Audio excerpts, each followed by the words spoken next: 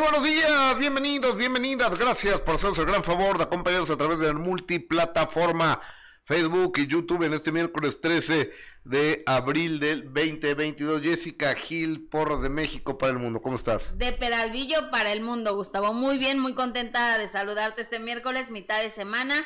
Mucho que platicar y mucho que recordar, Gus, también en este inicio. Pues, ¿cuántos meses lleva el año? Enero, bueno, hay cuatro. Y hay. tres y medio. Tres y medio. Y los escándalos no han parado, Gustavo. Así que podemos sentirnos afortunados y dichosos porque hay muchas cosas que comentar. Totalmente. Oye, pero pues es que la gente involucrada en los escándalos no creo que te de tan Felipe con tenis, ¿eh? Ah, bueno, pues no, pero pues ¿quién nos manda? No, pero además temas muy importantes, Gustavo, de verdad que, que, además es de aplaudir a toda la gente y a todas las mujeres que han alzado la voz y hombres también eh, que han alzado la voz, que han sido víctimas de acoso, de abuso, eh, lo cual me encanta saber que ya no está normalizado este tipo de, de, eventos, de episodios tan desagradables y que seguramente, y marcan seguramente a toda la gente que los ha, los ha tenido que vivir y que los han tenido que Desde los movimientos del Me Too, este también se puede convertir desafortunadamente en una cacería de brujas, que es peligroso. O sea, cualquier persona puede decir, fulano de tal me violó o me quiso no sé qué, y le jodes la, la, vida. la carrera, la reputación, el nombre a alguien. Y entre lo que se averigua o no se averigua, ya lo fastidias. Así es, pero afortunadamente de los casos que vamos a comentar el día de hoy, eh, ya pues obviamente sabemos que es que son reales Gus y el hecho de que Sasha Sokol el 8 de marzo Día Internacional de la Mujer rompiera el silencio hablara de este pues de esta relación que tuvo con el productor Luis de Llano ella siendo una niña y él siendo ya una persona adulta por supuesto que conmocionó a todo el medio aunque era un secreto a voces Gustavo aunque era ya se sabía de esta relación pero lo veían en ese entonces como algo pues normal desafortunadamente. Totalmente. Y que ahora ya no pasa. Entonces vamos a recordar eh, todo este tema sobre Sasha Sokol. Obviamente la respuesta de, de, Luis de Llano. Ahora sabemos que se irán a los tribunales, sabemos que habrá una demanda eh, de por medio, pero así como Sasha una denuncia penal. Exactamente, así como Sasha decidió hablar, también hubo otros casos de donde, pues obviamente de acoso, eh, y de abuso sexual como el que fue víctima Alex Perea, este joven actor que también fue acusado, él también decidió hablar, también decidió defenderse y que hasta el momento no sabemos eh, si, si hay una denuncia formal en contra de este joven, ¿no? Recordemos. ¿Qué puso Sasha, por favor? Pues ella ayer, la verdad es que sorprendió el día de ayer en la noche, Gustavo, cuando decide romper el silencio y a través de las redes sociales compartió estos textos que son largos, se los voy a leer porque creo que es importante eh, cada palabra que, que, ella decidió compartir sobre lo que vivió eh, con el señor Luis de Llano y dice Luis de ya no. Mientras mujeres en mi situación no nos atrevamos a hablar con la verdad, seguirá habiendo hombres como Luis de Llano. Desde los 14 años quise creer que fui responsable de lo que pasó. Hoy comprendo que mi única responsabilidad fue guardar silencio. Hace dos días Luis volvió a hacer declaraciones falsas sobre nuestra relación. Abusó de mí entonces y abusa hoy al manipular la verdad, al querer minimizarla para eximir su responsabilidad en los hechos. Hoy es Día Internacional de la Mujer. Muchas personas piensan que es un día para felicitarnos. No es así. Este día es para reflexionar y alzar la voz ante el abuso sistemático en el que nos hemos visto atrapadas de mil maneras. Cuando la relación comenzó, yo tenía 14 y él 39. Yo estaba en Vaselina con Timbiriche y era claramente una niña. Estuvimos juntos casi cuatro años. Mi familia se enteró y se volvieron locos, y no era para menos. Luis casi me triplicaba la edad. Era un año más grande que mi papá y tenía la misma edad de mi mamá. Fernando me desadoptó. Literalmente me desadoptó al escribir esto el corrector me da otras opciones ya que la palabra desadoptar no existe en el diccionario. Esa fue la primera gran pérdida de mi vida. Para intentar separarnos, mi mamá me sacó de Timbiriche mandándome estudiar fuera del país. Abandonar al grupo fue la segunda pérdida. Durante largo tiempo oculté que seguíamos juntos. Al cumplir 17 le dije a mi mamá que podía seguirle mintiendo o podía perdonarme. A la pobre no le quedó de otra que abrirse, pero jamás se sintió cómoda y fue feliz cuando poco tiempo después terminé con él. Me costó mucho dejarlo. Él era un hombre poderoso en la industria, mi representante y mi productor. Yo tenía mucho miedo que al separarnos mi carrera se viera lastimada. ¿Por qué miente cada vez que habla de mí? Porque sabe perfectamente que lo que hizo es un delito. Durante toda nuestra relación yo fui menor de edad. Escribo esto llorando, llorando por lo que sucedió, sí, pero llorando también por lo que sigue sucediendo. ¿Cómo habría sido mi vida si Luis, en lugar de meterme en su cama, hubiera hecho lo que le correspondía, que era cuidarme? Nunca lo sabré. Lo que sí sé es que las cosas que vives te marcan para siempre. La vida se vive hacia, hacia, adelante, pero se entiende hacia atrás. Hoy puedo ver que esa relación contaminó de muchas maneras mi vida. Esa relación terminó hace 33 años, pero hasta hoy que lo comparto es que termina lo tóxico que trajo consigo. Asumo la parte que me debe corresponder, pero ya no puedo ni debo guardar silencio. La vergüenza y el miedo nunca deben ser más grandes que la verdad. Asumo las consecuencias que puede traer la verdad. Le ofrezco disculpas a mi familia y a Alejandro, mi pareja, por ponerlos nuevamente en una situación así de incómoda. Hablar de esto me hace sentir una enorme vergüenza. Durante décadas quise creer que no mencionarlo haría que desapareciera. Estaba equivocada. Si existiera algún tipo de paz detrás de compartir esta historia personal tan dolorosa, es la de darle fuerza a otras mujeres para que alcen la voz si viven en alguna situación de abuso. No pienso hablar más de este tema. ¿Por qué hablo de esto ahora? Porque Luis de ya no. Mucho se ha dicho que tú tuviste una relación sentimental con Luis de Llano. ¿Esto fue cierto? Sí, sí lo fue. ¿En esa época? En esa época. ¿Antes de irte tú a Boston? Paralelamente. Para, cuando estabas en Timbiriche, eras una chiquita. Sí. ¿Y estabas enamorada de Luis? Perdidamente enamorada. ¿Cuánto tiempo duró? Cuatro años o casi cinco años. Fue una pareja muy importante en mi vida y lo quiero mucho y lo respeto mucho. Es que me perdí. Si de los 10 a los 14 fuiste novia de Benny, ¿de qué edad a qué edad fuiste novia de los 16 a los 20. Pero estabas tú en Boston, ¿él te iba a ver a Boston? No, no. En esa época no nos veíamos y cuando yo veía a México nos veíamos y después cuando yo ya me, me regresé a México a vivir, pues fue cuando empezó realmente más fuerte nuestra relación. Oye, ¿y la... ¿Qué te enamoró de un hombre como Luis de Llano? Mm, es un hombre muy interesante, supongo. Mucho su cabeza, como que es algo de lo que yo me enamoro en general. Me, interesa mucho la mente de las personas y con eso me refiero no nada más a que puedan ser intelectuales o no, sino a la capacidad de tener buen sentido del humor. Creo que el sentido del humor habla mucho de, una buena cabeza. Eh, Luis es un tipo encantador, bueno, brillante, trabajador. Y me adoraba y me cuidaba mucho y nos llevábamos muy bien y nos divertíamos mucho y fue una pareja muy importante. ¿Y fue una relación abierta? ¿La gente lo sabía o nomás era, era un secreto entre ustedes? Yo siempre he sido muy discreta, Gustavo Alfon. No, no es que yo quiera ocultar nada, es que no me interesa que se metan con mi vida privada. Y esa no es la excepción. Oye, este, vámonos con Mauricio Martínez. Mauricio Martínez es actor de teatro, bueno, básicamente él ha hecho series, telenovelas, pero su fuerte es el teatro musical. Y él denuncia que hace 20 años, cuando estaba en Operación Triunfo, fue acosado sexualmente por Toño Berumen. Toño Berumen es un cuate que hizo grupos musicales, boy bands, bandas de chavos, como Mercurio, como Magneto, como Cairo y demás, y han salido a descalificarlos. Entre ellas una señora que hace espectáculos en TV Azteca que dijo que era impresentable y que era un asco. Que cómo le podían creer a ese mentirosillo. O sea, yo creo que hay que tener respeto y si a algunas gente, personas no les han pasado, qué bueno, pero si hay un síntoma de esto, hay que, hay que atacarlo, ¿no? Hay que, ah, hay que atacarlo. Este y Mauricio Martínez sale a sus redes sociales para decir lo siguiente. Adelante, Mau. Duele mucho revivir momentos incómodos. Sí, yo fui víctima de abuso sexual por el señor Antonio Berumen en el 2002, cuando fui a su oficina, que estaba ahí en Mixcoac, en la Ciudad de México.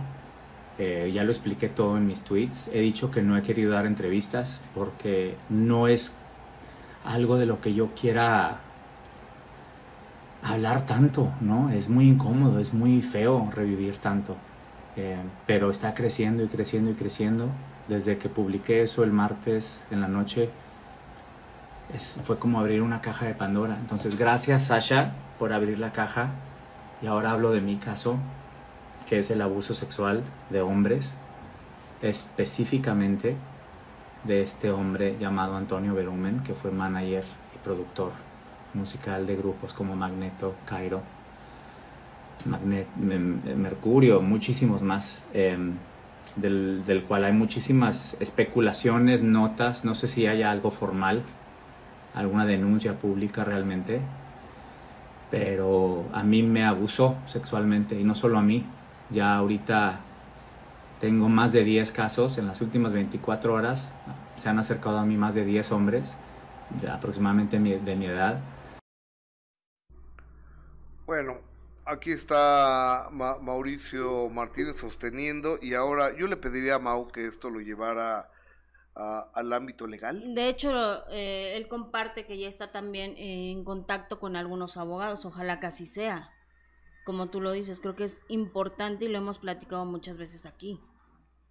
Lo importante es hacerlo ante las autoridades. Claro, por supuesto.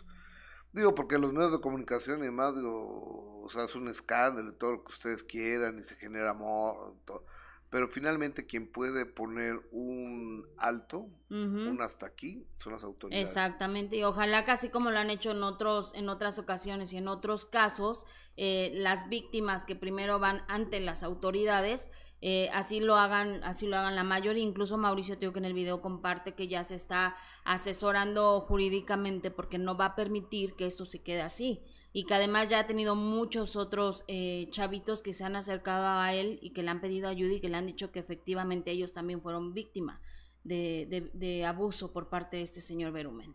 Wow, está, está verdaderamente... Y, y, está enojado, ¿verdad, Mauricio? Está muy enojado ahora sí. Sí, yo le mandé un mensaje en la mañana, este, espero que me contestara, pero no, no me ha contestado. Porque él, de, él pone algo que yo dije, me dice, así como todos los mensajes que desde antier me estás poniendo y te seguiré poniendo, Mauricio, para intentar platicar contigo, porque yo en la última palabra, en el editorial que tengo en, Sale el Sol, hago el comentario y la pregunta que por qué 20 años después, ok, ya me, la gente me ha explicado que cada quien tiene su tiempo para poder verbalizar ese tipo de cosas. Hay gente que nunca lo hace que se queda callada toda la vida por miedo. Hasta que se muere, ¿no? Bueno, entonces, el día que Mauricio Martínez quiera platicarlo, aquí estoy, Mauricio. Aquí estamos esperándote en los diferentes espacios donde tengo la oportunidad de trabajar con muchísimo gusto y por supuesto que aquí nunca desvirtuaremos, desacreditaremos o intentaremos aplastar a una víctima como en otros canales de televisión. Exactamente. Oye, fíjate que vamos con otro tema que está espantoso. Este cuate, Alex Perea, es actor. Y, te quiero decir que, que ayer me mandó un mensaje, ¿no? Sí, te eh, Cuéntame, porque ¿Ustedes recuerdan que hay un par de acusaciones para, para él? Ajá de, de violencia, ¿no? de, de, mujeres que han tenido con, con el señor Alex, con el joven Alex Perea, y a mí me dijeron de dos o tres, son tres, pero bueno, dos o tres, ¿y qué fue lo que dijo Alex Perea al respecto? Tú dijiste que habían dos o tres mujeres que, que, habían interpuesto una denuncia en contra del señor Alejandro Perea, bueno, Alex Perea, él decidió hablar, mandó un comunicado y, y esto fue lo que dijo. Vamos a ver a Alex Perea. Hola, ¿cómo están? Espero que muy bien. Eh, disculpen mi corte de cabello, estoy ahora mismo en una producción y bueno, así lo requiere el personaje. Esto que les voy a leer a continuación es algo que escribí eh, y que bueno, precisamente lo voy a leer porque son tantas ideas que no quiero que se me olvide ninguna. Comienzo. Hubiera querido grabar este video por otras razones, pero me han envuelto en una historia que comenzó con una difamación, una insidia, y a partir de esto, las redes tergiversaron todo y algunos medios distorsionaron aún más esa misma historia surgida en las redes sociales. Es decir, esta historia que reproducen los medios es el teléfono descompuesto del teléfono descompuesto. Quiero contarles paso a paso lo que sucedió, ya que esto se reproduce tantas veces y evidentemente está afectando mi reputación como ser humano, como actor, como hermano, como hijo, como compañero de trabajo. Número 1. En la madrugada del 9 de marzo me entero que alguien que se llama Lorena García asegura en Instagram que yo agredí a una mujer. Cuando le preguntan si ella es la víctima, responde que no, que no es ella, sino una amiga y que lo vivió de cerca. Se lo digo a esta persona directamente, no te conozco, nunca te he visto en mi vida. Yo sé que en el movimiento feminista todas las denuncias son creídas porque se trata de víctimas y porque las autoridades siempre dudan de ellas, pero en este caso es muy sencillo. No conozco a la autora de esto, nunca la he visto en mi vida. Número 2. A esta historia Isabel Burr pone like y escribe como comentario una de las consignas de la lucha de las mujeres, ni una más. Después de esto, las redes infieren que ella es la víctima, pero ella jamás me mencionó. Número 3. Después de eso, otra amistad de Isabel, Ale Dunet, sube una foto de un papel que supuestamente encontró en la marcha del Día Internacional de las Mujeres del 8 de marzo con mi nombre y la palabra golpeador. Para cualquiera que haya asistido a una marcha de mujeres, esta imagen les, resultará por lo menos inverosímil. Número 4. Posteriormente, la misma Isabel sube una historia a su Instagram hablando sobre la violencia que vivió como mujer, en la cual jamás me menciona a mí como su agresor. Eso fue inferido por las redes. Número 5. Scarlett Gruber, amiga también de Isabel, mostró su apoyo a esa historia subida por Isabel. Esto fue retomado más bien distorsionado por los medios como si yo hubiera agredido también a esa actriz. Número 6. En el programa de Gustavo Adolfo Infante, al cual respeto mucho. Pero en este tema en particular, sus fuentes le han mentido descaradamente pues aseguró que tengo denuncias penales interpuestas por otras tres mujeres. Jamás he sido una persona violenta en mi vida. No hablo por mis amigos, que evidentemente me apoyarán, sino por todos mis compañeros actores, actrices, producción, maquillaje, vestuario, con mis más de 20 años de carrera en este medio, que jamás he tenido un solo problema con nadie, en ninguna producción, ninguna. Nunca me ha gustado estar metido en chismes ni situaciones así. Me he criado entre feministas, mi madre y mi hermana. Mi padre es hijo del matriarcado, pues fue criado y amado exclusivamente por mi abuela, que en paz descanse. Las mentiras, las insidias y las difamaciones dañan el honor y la dignidad de las personas.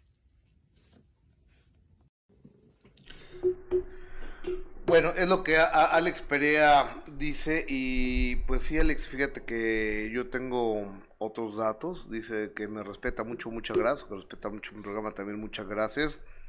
Yo también respeto a todo el mundo. Creo que es un principio importante en la vida el respetar a las personas. Pero hay una persona que se llama Isabel Burr, Burr que era tu pareja en una telenovela y que era tu novia y que ella dice que fuiste que la golpeaste. Y hay otra muchacha que se llama Ligia Uriarte que era tu novia hace un año y medio o dos años y que asegura que la golpeaste y que le abriste la ceja de un golpe. Y hay otra persona que dice que la dejaste desmayada en Acapulco. Ay, del golpazo que le metió. De las tranquilizas que le puso. Son tres.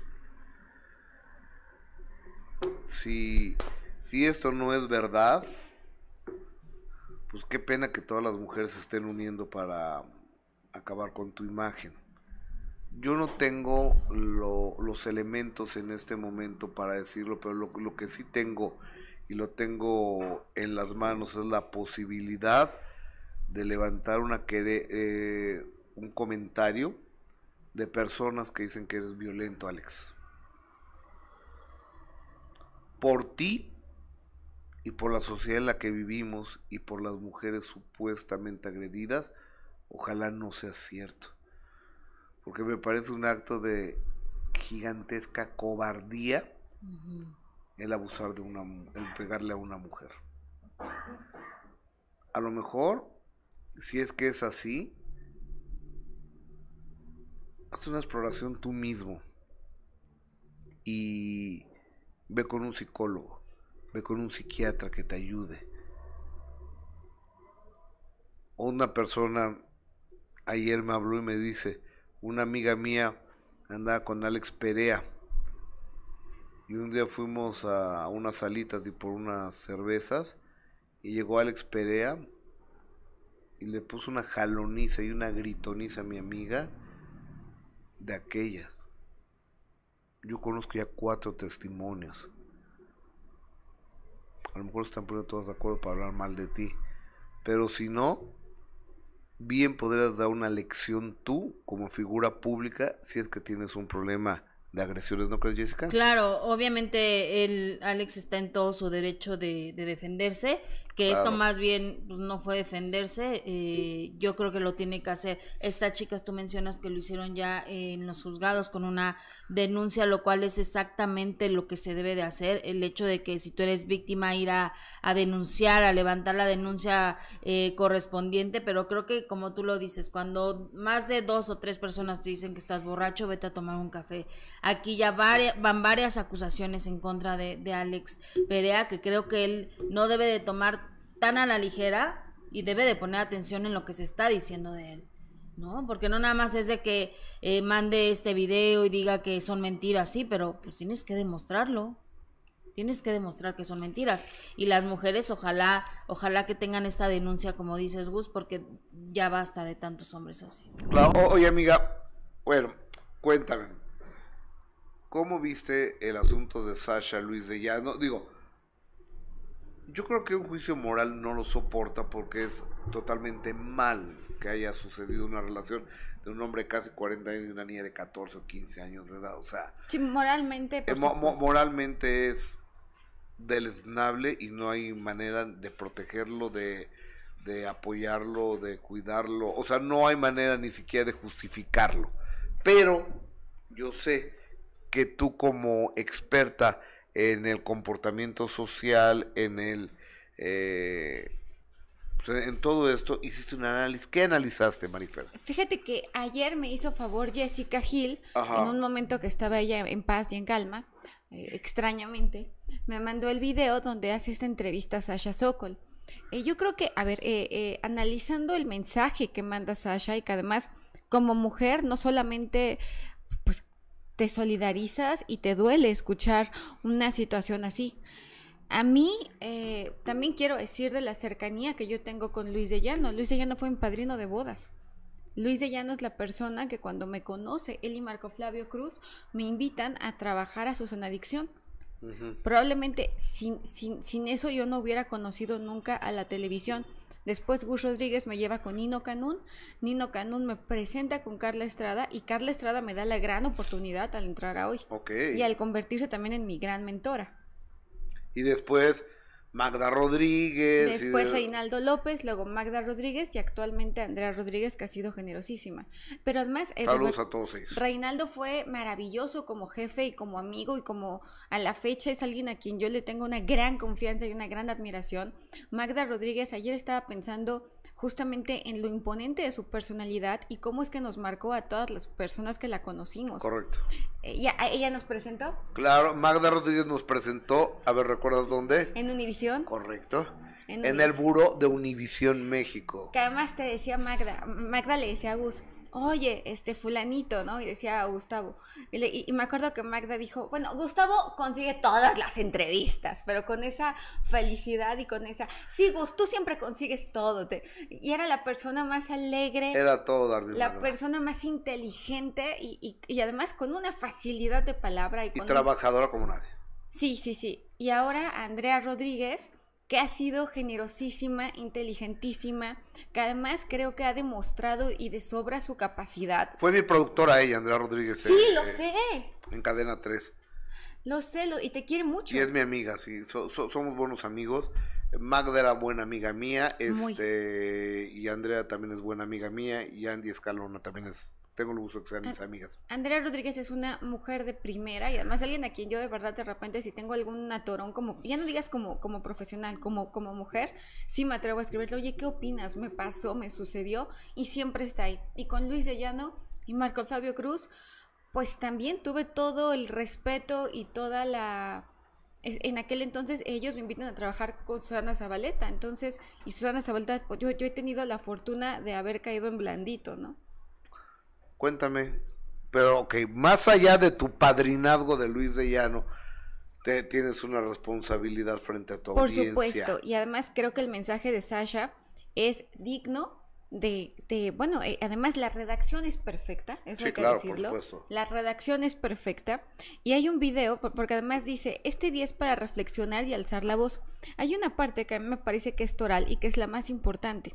Cuando dice, eh, ¿cómo me costó mucho trabajo dejarlo a él, él es un hombre muy poderoso, pero además dice, la vida se vive hacia adelante, pero se entiende hacia atrás.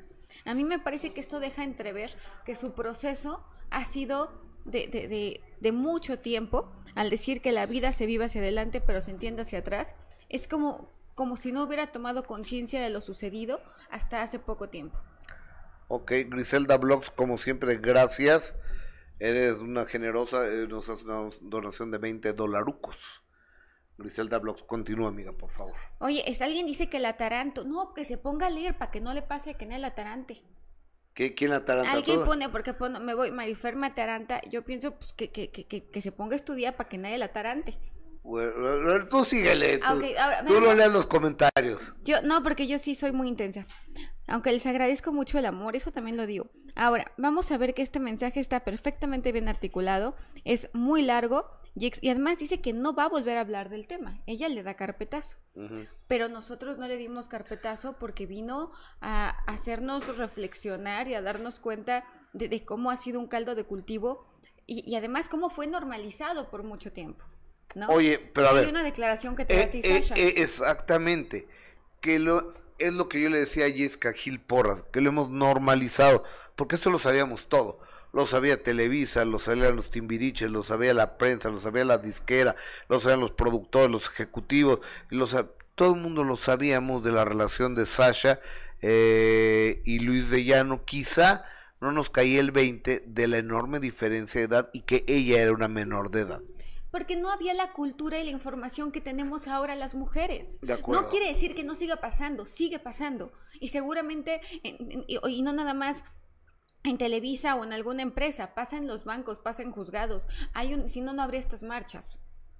¿no? Y ha sido, una, ha sido una lucha histórica. Ahora, hay que ver esta entrevista que te da Tigus, porque a mí, a mí me sorprende muchísimo eh, ver, ver, la reacción tan contundente de Sasha. ¿La tenemos? Sí, sí, sí, sí. A, ver, por favor, la entrevista que hace ocho años le hice para el programa En Compañía de, que es un programa si usted no lo vio nunca, ahí los encuentra en YouTube en compañía de, y hay como 300, como 400 programas míos ahí, pero ese es uno de esos programas con la señora Sasha Sokol. Adelante. Mucho se ha dicho que tú tuviste una relación sentimental con Luis de Llano. ¿Esto fue cierto? Sí, sí lo fue. No, no, acá. acá, Antes de irte tú a Boston. Paralelamente. Para cuando estabas en Timbiriche. Eras una chiquita. Sí. ¿Y estabas enamorada de Luis? Perdidamente enamorada. ¿Cuánto tiempo duró? Cuatro años o casi cinco años. Tiene sentimientos encontrados cuando dice perdidamente enamorado, porque empieza con una ligera negación y después viene la afirmación. Entonces, dentro de ella parece que, sí estaba convencida eh, eh, de, estar enamorada en algún momento, pero racionalmente sabe que, que era muy complicado. Ahora, la, la dirección de la mirada es que está recordando, no que esté mintiendo. Eh, entiendo perfecto que sabemos ahora que no importa la dirección de la mirada para saber si es un indicador, pero dado la postura corporal es, es más de recordar y de reflexión. Ok, sí, síguele, por favor. síguele, síguele, ¿Me pueden subir tantito el volumen? Porque yo no escucho nada la mente de las personas. Y con eso me refiero no nada más a que puedan ser intelectuales o no, sino a la capacidad de tener buen sentido del humor. Ahora, esboza una pequeña sonrisa cuando dice que se enamoró de lo inteligente que era. ¿No? E, entonces, realmente hay que tomar en cuenta que es una niña. Yo decía que es una mujer de 14 años porque biológicamente eres mujer o hombre, ¿no? Entonces, e, ese, ese, ese es un comentario que yo quiero aclarar. Es una niña, una mujercita de 14 años que sí, perfectamente se pudo haber enamorado de él. Que, que, otra cosa es que no sea prudente, otra cosa es que no sea lo ideal, pues no. Sin embargo, sucede porque estás deslumbrado, porque además ella habla en algún momento de la ausencia de, de, papá, habla de cómo la desadoptan y cómo de alguna forma Luis de Llano viene a ocupar a ocupar este este vacío. Podemos seguir escuchando porque Por además favor. lo dice con seguridad, muy bien y nos lo dice con mucho y fue una pareja muy importante. Y fue una relación una abierta, pareja muy importante sabía, y se pone seria.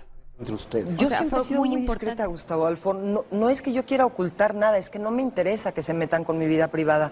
Y esa y no con es la coraje dice, no es que yo sea muy Mucho se ha discreta, dicho es que, que- yo no quiero es- no es que yo quiera ocultar nada, es que yo soy muy discreta y lo dice con contundencia.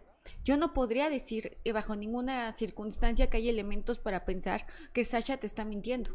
Sí, yo tampoco. Yo no le veo, no me, es más, tenemos la firma de Sasha Sokol y no es una mujer que mienta. Eh, por ejemplo, veamos, eh, en este es que tenemos un collage de firmas que me encontré ayer. En este De collage Sasha. de Sasha Sokol, eh, donde además están en diferentes momentos. Hay una que está en medio, eh, abajo, eh, que donde se ve más jovencita, más niñita, para, pa- para no eh, caer mujer, a mí me parece que es algo genérico, independientemente de la edad, pero bueno.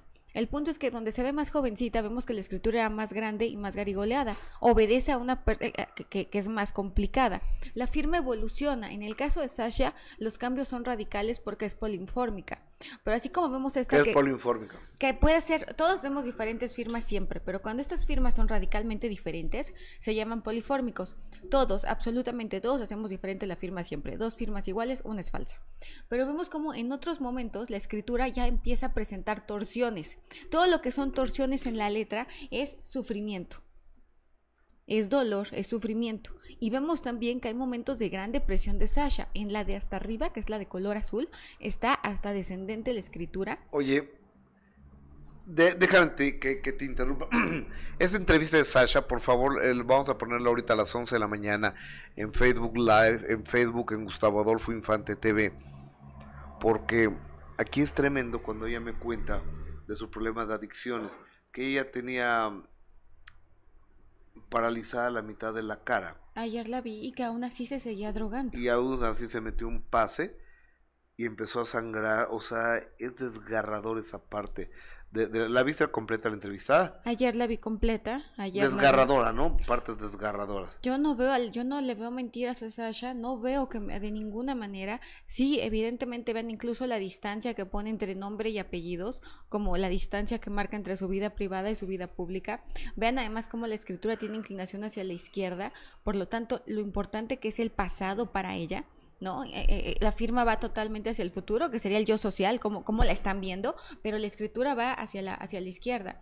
Eh, Sasha no es una mujer mentirosa, Sasha es una mujer con un gran liderazgo, es una mujer contundente y en la entrevista, por ejemplo, es tan inteligente y además tiene un cerebro adictivo. Entonces eh, es, es normal que- que se enganche con sus pasiones de esa manera. Normal para ella, ¿eh? No estoy diciendo que sea algo correcto. No, no, simplemente es una mujer tan... Ahora, es una mujer que también es buena para los negocios, ¿eh? No es ninguna tonta, hay que, hay que aclararlo. Es muy buena para los negocios, es muy Ah, bueno, por ejemplo, lo- el- todo el regreso de Timbiriche y demás, ella lo ha hecho. Ah, eso no lo sabía. Sí, sí, sí. Ah, ahora, eh, eh, Sasha eh, el día de hoy mantiene una relación pues, como de matrimonio pues con Alejandro Soberón, el presidente de OCESA. O sea, es una, una relación de inteligencia, una relación de, de personas educadas, de alto nivel cultural y Ella dos personas mujer que se aman. De verdad, con una gran inteligencia verbal. Sí. Es una mujer con una gran eh, capacidad crítica, hay que decirlo, ¿eh? porque eh, es una mujer que además seguramente ha, ha- ha pensado y repensado mucho. E- Esto se re- refleja no solamente en su escritura, en su redacción perfecta, en las contestaciones que te da, que son contundentes y rápidas, ¿no? Hay otros a los que les preguntas, Gus, y, y de verdad se ve que se atoran, porque, eh, eh, eh, eh, eh, eh, uh, eh, eh, eh, no, no, Sasha te contestó inmediatamente. Sí, claro. Sí, porque no está mintiendo. Porque no está mintiendo, o sea, es, ¿Es una víctima, Sasha? Fíjate que es una mujer que no quiere ser vista como víctima. Eso no quita que, que, que haya sido víctima de algo, pero su personalidad no es de alguien que tienda a victimizarse. Amiga, el tiempo se me está acabando. ¿Dónde te puedo encontrar? Por favor, dime dónde encuentro a Marifer Centeno para un estudio grafológico o para tomarme un café con ella o para estudiar grafología? Bueno, si quieren estudiar grafología y analizar la escritura y ser perito en grafología, que está reconocido por el gobierno federal, que me manden un WhatsApp, que les damos una beca del 30%, que es 5565799813. 5565799813. Y que vengan hoy a Grafocafé, que además todo el fin de semana va a haber pastel de chocolate ilimitado, tanto en Cerro de Juvencia 130, en la campestre Churubusco, que es la sucursal Miramontes, o en, en, o en Campeche. Campeche 228, Colonia Condesa. Ahí muy cerca de Metro Chilpancingo. Metro es que la Churubusco o Campeche 228, Colonia Condesa. Gus, haz dos firmas, o es que, y para que vean que nadie firma igual dos veces. Aquí está una firma. Ahí hay una. firma. Nadie firma igual dos veces. Y aquí voy a poner mi otra firma aquí arriba. Una vez iba yo en la universidad y llegó un perito a decir que tenías que hacer 20 mil firmas para que saliera igual. No, hombre, yo me puse como fiera. ¿Cómo, ves esto qué? Que no salió igual, véanla. Son, o sea, son. El gesto gráfico se va a mantener pero lo que va a ser distinto, o sea, pero el estímulo es distinto, la emoción es distinta. Gustavo Adolfo, a ver, Gustavo Adolfo siempre tiene una característica, es decidido. Gustavo Adolfo ni se achica, ni le importa, ni se, se apasiona, pero no se lo toma personal. Sabe que tiene que hacer, o sea, e, es, es racional, es intenso, es apasionado. Hay que decirle a Gustavo Adolfo que si Jessica Gil es muy caliente, Gustavo también es muy caliente. Y además es dominante en la cama. Seguramente eh, le gustan las pompitas, en lo que él se fija en el cuerpo de las personas. Es dominante, está acostumbrado a ganar, le falta dormir, le falta descansar, le gusta irse a lo seguro, está buscando estabilidad, está pensando a largo plazo, es concreto y es práctico. No le vengas con pretextos, vende con, si tú llegas con él, dale soluciones y no pretextos. Termina lo que empieza, no le gusta dejar nada a medias y además tiene una gran capacidad de síntesis. Te puede decir algo muy importante en pocas palabras. Amiga, estás bien gruesa, estás bien chipoclusa. Te quiero mucho. Oye, amiga, 5565 79 98 13. Ahí es. El WhatsApp para Marifer Centeno y en Cerro de Juvencia, ¿qué número? 130. En y Campeche 228, Colonia. Condesa. Gracias, amiga. Buen fin de semana. ¿Podemos hacer este? Claro, eh, de, de primera mano, le sale re bien, le sale re bien. Me sale súper bien. Oye, la entrevista me están diciendo que a las 11.30 subimos la entrevista completa de Sasha en Gustavo Adolfo Infante TV en Facebook. Oye, ¿y a quién tenemos mañana, Omar? antes de despedirnos y con eso, Jessica, ven a despedirte de tu público, por favor. Ven a despedirte de tu público, por favor, porque luego la gente dice, ay, ¿dónde quedó la señora? La señora Jessica Es viernes y ya se quiere ir. Sí. ¿Ya, ¿Ya te quiere decir? Sí. Y vean la sonrisa. Para aprovecharlo. Ella empieza temprano. despídete, amiga. Eh, gracias, amiga. Oigan, y Víctor García, que el mañana tenemos a las 9 de la noche. Échale. Fui a llevar a mi hermana precisamente al casting de la academia y yo estaba muy rejego del hecho de hacer casting. Aún encumbrado en la fama. Yo realmente me, me, presté a los brazos de la oportunidad y venga. Su corazón debe rendir cuentas. Oye, entonces con Mira, ¿anduviste o no anduviste? Ella te acusó a ti de haber sido buleador, ¿puede ser la palabra? Gustavo Adolfo Infante presenta a Víctor García en El Minuto que Cambió Mi Destino. Este sábado 9 pm en Imagen Televisión. Un presagio fatal. Yo presentí el accidente de mi hermana. Le provoca un dolor inolvidable. Pues tuve que identificar al cadáver. Y vivir esa pena dos veces. Hay otra viridiana en tu vida, tu hija. Es una carga insoportable. Tu nena que fallece. Gustavo Adolfo Infante presenta a Silvia Pasquel en Memorias del Minuto que Cambió Mi Destino. Este sábado 10.30 am en Imagen Televisión.